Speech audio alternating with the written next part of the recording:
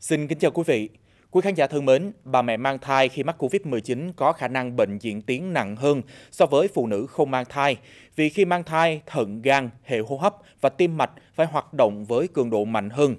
Nếu nhiễm bệnh, người mẹ phải chống chọi thêm với Covid-19, em bé sẽ phải đối mặt với nguy cơ bị lây nhiễm, sinh non, mẹ bầu phải thở máy, chạy ECMO, dùng máy kháng sinh liều cao, vân vân, thậm chí là đe dọa đến tính mạng. Chính vì vậy mà việc tiêm chủng vaccine COVID-19 cho phụ nữ mang thai đang được nhiều người quan tâm. Và trong chương trình ngày hôm nay, bác sĩ chuyên khoa 1 Lê Thị Kim Xuyến, trưởng khoa sức khỏe sinh sản, Trung tâm Kiểm soát Bệnh tật Long An sẽ cung cấp đến quý vị các thông tin có liên quan đến vấn đề này. Xin chào bác sĩ Lê Thị Kim Xuyến ạ. À. Hiện nay thì có nhiều loại vaccine ngừa Covid-19 được cấp phép sử dụng ở Việt Nam. Vậy thì có phải tất cả các loại vaccine này đều tiêm được cho phụ nữ mang thai hay không? Và có vaccine nào chống chỉ định cho phụ nữ mang thai và cho con bú theo hướng dẫn của nhà sản xuất không ạ? Hiện nay thì Bộ Y tế đã cấp phép sử dụng nhiều loại vaccine tại Việt Nam. Người ta sẽ sử dụng những cái loại vaccine mà có tính kháng nguyên, không sử dụng những cái loại vaccine mà có cái virus sống giảm động lực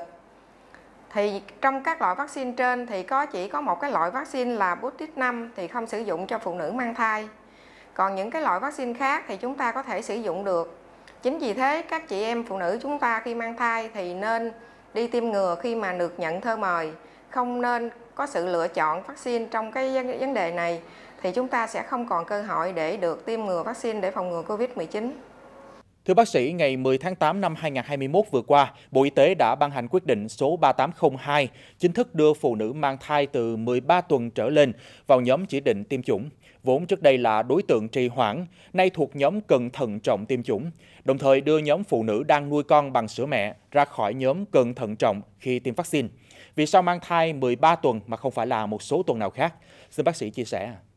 Chúng ta thấy là sở dĩ mà người ta đặt vấn đề là 13 tuần vì người ta chia trong cái quá trình mang thai ra làm ba cái thời kỳ tam cá nguyệt đầu, tam cá nguyệt giữa và tam cá nguyệt cuối. Nhưng mà thường trong cái tam cá nguyệt đầu là 3 tháng đầu của thai kỳ thì cái quá trình này là cái quá trình mà cái phôi thai sẽ được hình thành những cái cơ quan đó là những cái giai đoạn mà rất dễ gây ra cái dị dạng thai. Chính vì vậy mà ngay trong cả cái tiêm ngừa uống dán cho thai phụ thì khi mà nghe hỏi là trong cái quá trình mang thai thì tiêm ngừa uốn ván cái giai đoạn nào là tốt nhất, thì chúng ta sẽ được nói là tiêm càng sớm càng tốt. Nhưng mà thật ra cái khuyến cáo của tiêm ngừa thì 3 tháng giữa là tốt nhất. Thì các anh chị thấy là trước đây khi mà mới bắt đầu thì Bộ Y tế rất cẩn thận khi mà chọn cái phụ nữ mang thai là không được đưa vào trong cái vấn đề tiêm chủng. Nhưng mà hiện nay trong cái thời gian mà sử dụng vaccine và cái thời gian mà tiêm ngừa cho cộng đồng thì thấy được cái tính an toàn và hiệu quả của vaccine nó không ảnh hưởng gì tới cái quá trình mang thai thì chính vì vậy thường quy thì người ta chọn cái mốc là 13 tuần và tuân thủ theo cái hướng dẫn của Bộ Y tế từng bước thì sẽ có một cái sự mở rộng và là tất cả mọi người phụ nữ mang thai đều sẽ được tiêm ngừa vaccine chứ không hẳn là phụ nữ trên 13 tuần. Vậy thì phụ nữ mang thai cần chuẩn bị những gì trước khi đi tiêm chủng à? Khi mà đi tiêm thì chúng ta không cần phải làm gì hết. Cái đó là một cái quy trình của ban chỉ đạo phòng chống tiêm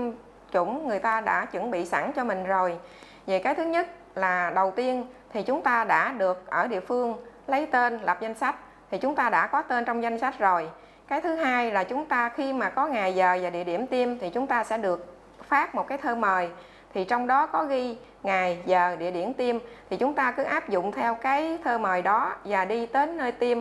khi đến nơi tiêm thì chúng ta chỉ cần đưa cái thơ mời rồi cán bộ sẽ ra cái danh sách thì chúng ta sẽ được hướng dẫn và tiếp tục được tiêm ngừa sau khi mà chúng ta đi tới nơi đó. Cảm ơn bác sĩ đã chia sẻ những thông tin mà tôi tin chắc rằng là có nhiều phụ nữ mang thai đang rất là quan tâm. Và trong chương trình ngày hôm nay thì xin bác sĩ cũng chia sẻ thêm là trường hợp nào thì phải hoãn tiêm chủng vaccine COVID-19 à? Thì theo cái đối tượng phụ nữ mà trên hoặc bằng 13 tuần mà bị hoãn tiêm thì cũng theo cái quyết định 3802 ngày 10 tháng 8 2021 của Bộ Y tế thì những cái đối tượng mà quản tiêm là thứ nhất là có tiền sử rõ ràng khi mà mắc bệnh Covid. Cái thứ hai là đang mắc những cái bệnh cấp tính và cái thứ ba đó là những cái phụ nữ mang thai dưới 13 tuần thì những cái đối tượng này thì tạm thời quản tiêm. Cũng liên quan về vấn đề tiêm ngừa cho phụ nữ mang thai thì có một thắc mắc nữa của các bà mẹ đó là khi đã tiêm mũi 1, mũi 2 là lúc cho con bú thì có tiêm được không ạ? Chúng ta thấy là khi mà đã tiêm được mũi 1 rồi, mà cái mũi 2 là trong cái thời gian cho con bú mà chúng ta chưa tiêm được, thì chúng ta vẫn tiếp tục đi tiêm. Nó không có chống chỉ định đối với những người, Không có chống chỉ định khi mà những người phụ nữ mà cho con bú. Thành ra theo cái quyết định là 3802 thì Bộ Y tế đã có đưa vô là cái đối tượng phụ nữ mang thai trên 13 tuần và cho con bú được tiêm vaccine Covid-19 thì các chị em mình cứ an tâm và đi tiêm chủ yếu là nó đúng thời gian, đúng quy định của Bộ Y tế và nhà sản xuất thì chúng ta cứ tiếp tục tiêm ha, không ảnh hưởng gì tới em bé. Tiếp theo, xin bác sĩ chia sẻ là tác dụng phụ của vaccine phòng COVID-19 đối với phụ nữ mang thai khác với người không mang thai như thế nào và tác dụng phụ nào là bình thường sau khi tiêm ngừa. Xin mời bác sĩ ạ. Thì đối với cái tác dụng phụ của phụ nữ mang thai và mẹ cho con bú sau khi tiêm về thì nó cũng giống như những cái đối tượng khác. Thì có một số người thì về thì xong có những cái dấu hiệu nào hết.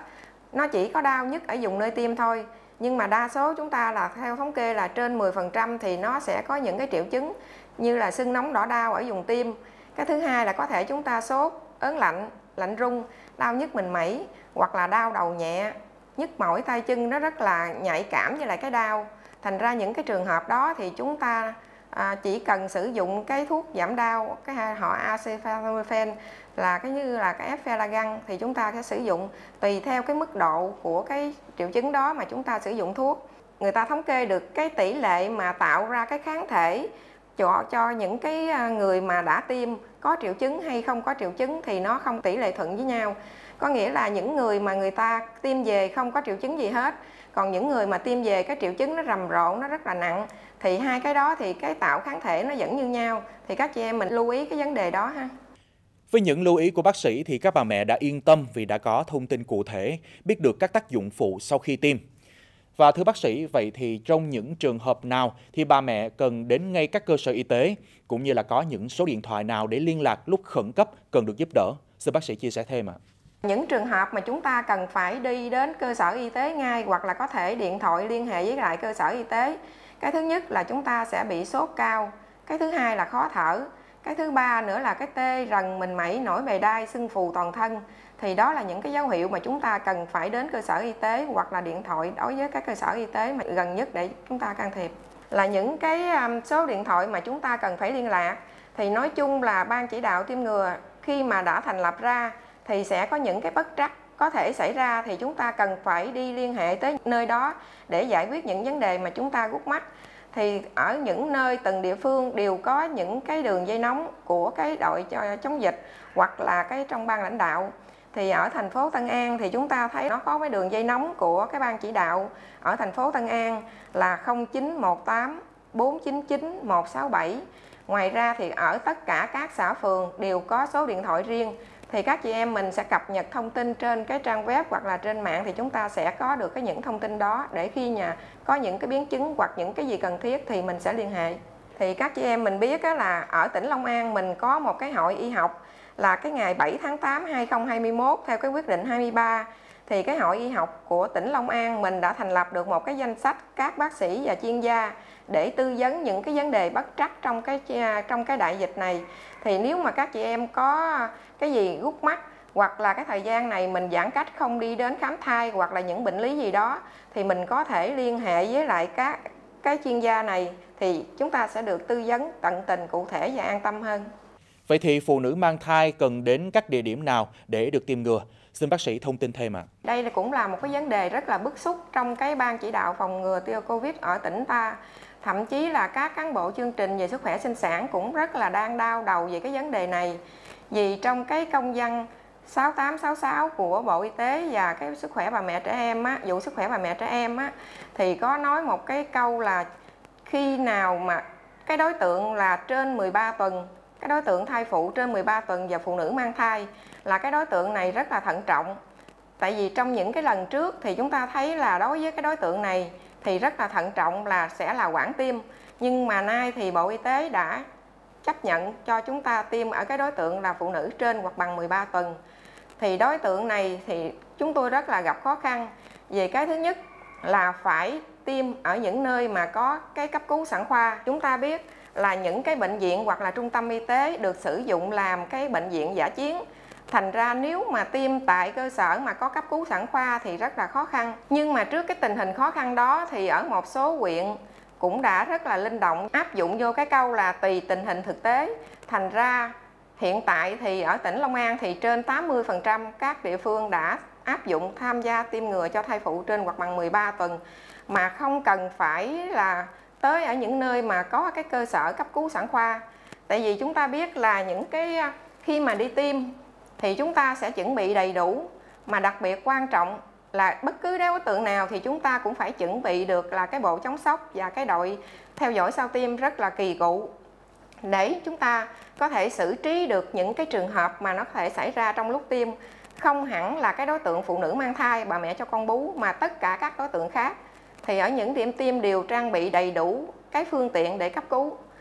thì phụ nữ mang thai trên hoặc bằng 13 tuần thì nó cũng giống như là những cái đối tượng khác. Đối với phụ nữ mà trên 13 tuần mang thai thì chúng tôi sẽ bố trí thêm một cái máy siêu âm để siêu âm trước khi mà mình tiêm ngừa. Tại vì có những trường hợp là cái thai nó bất thường hoặc là cái tim thai nó ngưng trước đó, chứ không phải là sau khi tiêm ngừa. Do đó chúng tôi trang bị cái máy siêu âm để thứ nhất là rà soát để phát hiện được là cái bất thường đó nó xảy ra trước khi tiêm hay là sau khi tiêm thì cái đó là cũng để cho cái thai phụ được an tâm khi tiêm ngừa Quý khán giả thân mến, qua chia sẻ của bác sĩ chuyên khoa 1 Lê Thị Kim Xuyến, trưởng khoa sức khỏe sinh sản, Trung tâm Kiểm soát Bệnh tật tỉnh Long An, quý vị đã được chia sẻ nhiều thông tin về phụ nữ mang thai như tại sao phải tiêm ngừa, tại sao phải lưu ý tuần tuổi của thai nhi khi tiêm, các trường hợp hoãn tiêm, những lưu ý về tác dụng phụ sau khi tiêm, trình tự thủ tục để được tiêm ngừa. Và với những chia sẻ từ bác sĩ, hy vọng là phụ nữ mang thai đã có những thông tin cụ thể thiết thực để việc tiêm ngừa đạt kết quả cao nhất. Và cảm ơn bác sĩ chuyên khoa 1 Lê Thị Kim Xuyến, trưởng khoa sức khỏe sinh sản, Trung tâm Kiểm soát Bệnh tật tỉnh Long An đã tham gia chương trình này. Và cảm ơn quý vị đã quan tâm theo dõi. Xin kính chào tạm biệt và hẹn gặp lại quý vị.